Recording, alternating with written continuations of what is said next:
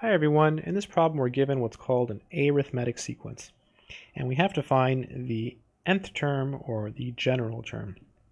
So the formula for the nth term is given by the following equation.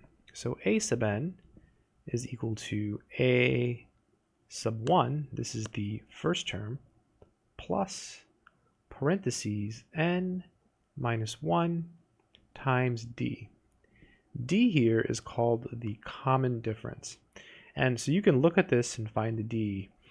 It's what number do you keep adding over and over again? So to get from negative 3 to negative 6, we're going to add negative 3.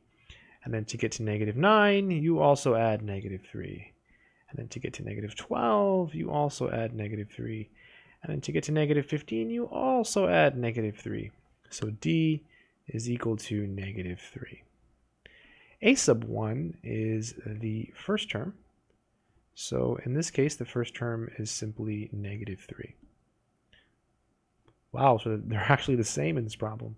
So a sub n, so a sub 1 is negative 3, plus parentheses n minus 1, and then d is also negative 3.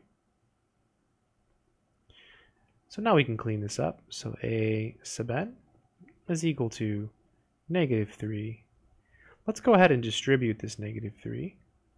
That'll give us negative 3 times n, so negative 3n. And then negative 3 times negative 1 is going to give us a positive 3.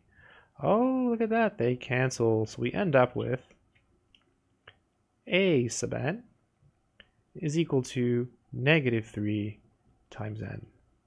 And that would be the nth term or the general term of this arithmetic sequence. I hope this video has been helpful.